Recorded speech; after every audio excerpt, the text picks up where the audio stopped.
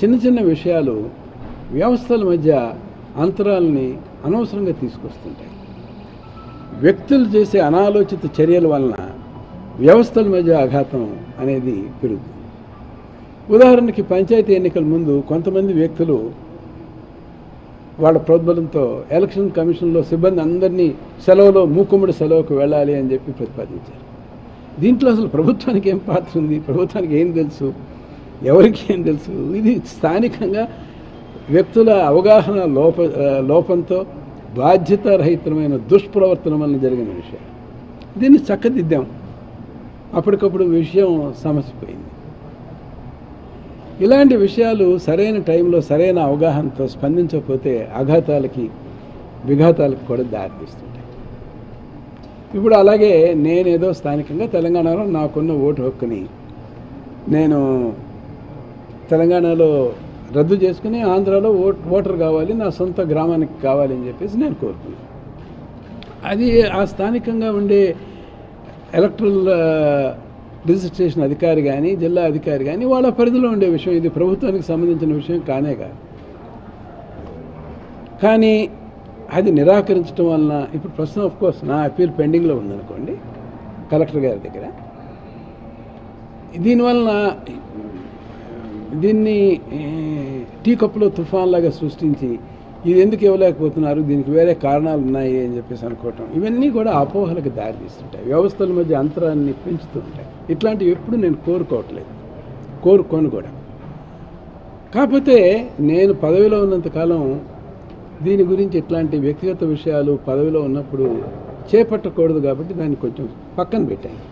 ఈరోజు పదవి విరమణ అయిన తర్వాత ఒక పౌరుడిగా నా హక్కులు సాధించుకోవడానికి నేను వెనుకాడను. అవసరమైతే న్యాయ పోరాటం చేస్తాను.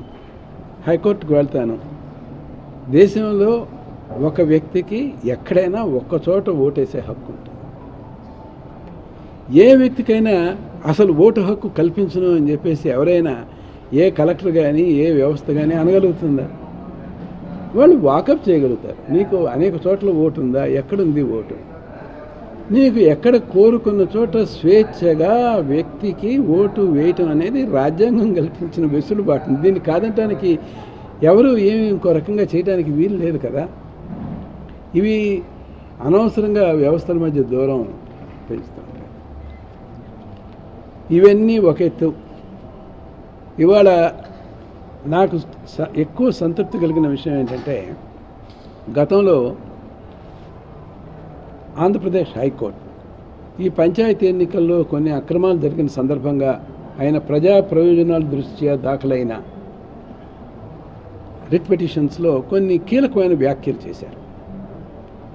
వ్యవస్థని ప్రక్షాళన చేయాలి స్వేచ్ఛగా స్వచ్ఛ ఎన్నికలు జరగాలి పారదర్శకత ఉండాలి ఎన్నికల ప్రక్రియలో ప్రజలు విశ్వాసం కోల్పోకుండా ఉండాలి అని చెప్పేసి ఉన్నత న్యాయస్థానాలు కూడా ఎంతో కాలంగా ఘోషిస్తున్నాయి.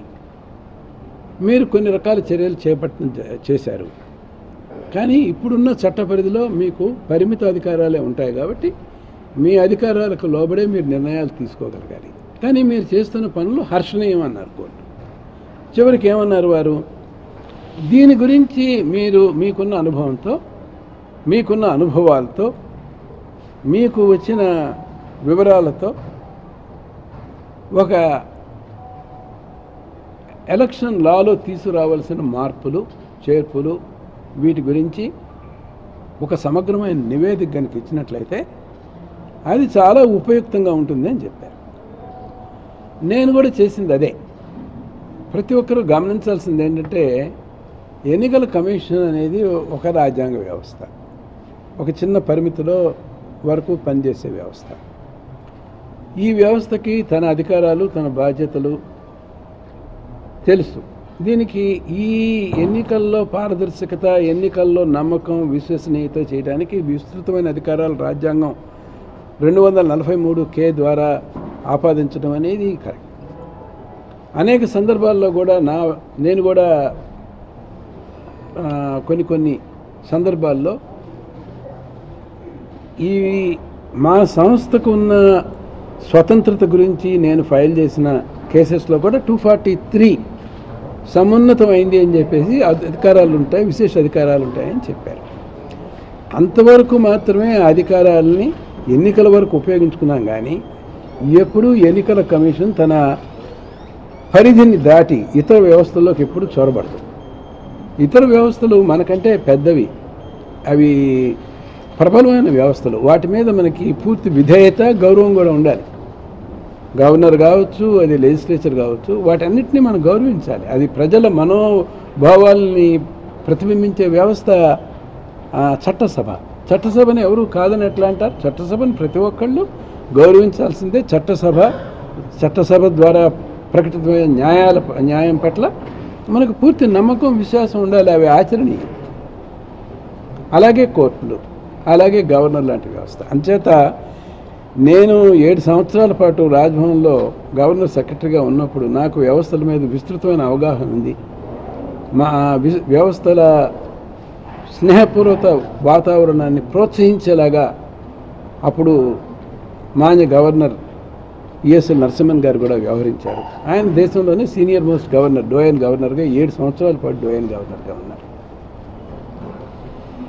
దీంట్లో భాగంగా మా- నేను చేయాల్సిన చిన్నపాటి ప్రయత్నం ఏంటంటే కొంతమంది హక్కులు ఈ ఎన్నికల ప్రక్రియలో దానికి ఏదైనా లోటుపాట్లు ఏర్పరిచినప్పుడు లేకపోతే వాళ్ళ హక్కులు హరించినప్పుడు మనం ఏమైనా ఇంకా ఎక్కువ న్యాయం చేయగలమా అని చెప్పడానికి ప్రయత్నం చేశాం. అంచేత బలవంతంగా గనక నామినేషన్లు విడ్డ్రా చేయడానికి ప్రయత్నించినా నామినేషన్లు వేయలేకపోవటానికి ఏదైనా అటువంటి పరిస్థితులు విపత్కర పరిస్థితులు ఏదైనా ఏర్పడినా అట్లాంటి వాటికి ఏదైనా న్యాయం చేయొచ్చా అనే సముచిత దృక్పథంతో కేవలం వ్యవహరించాం. వ్యవహరించినప్పుడు దీన్ని న్యాయ పరిధిలోకి వచ్చిన అంశాలు న్యాయ పరిధిలో న్యాయం ఏదైతే హైకోర్టు ఏదైతే చెప్పారో దాన్ని చివరికి శిరసాహించక తప్పలేదు.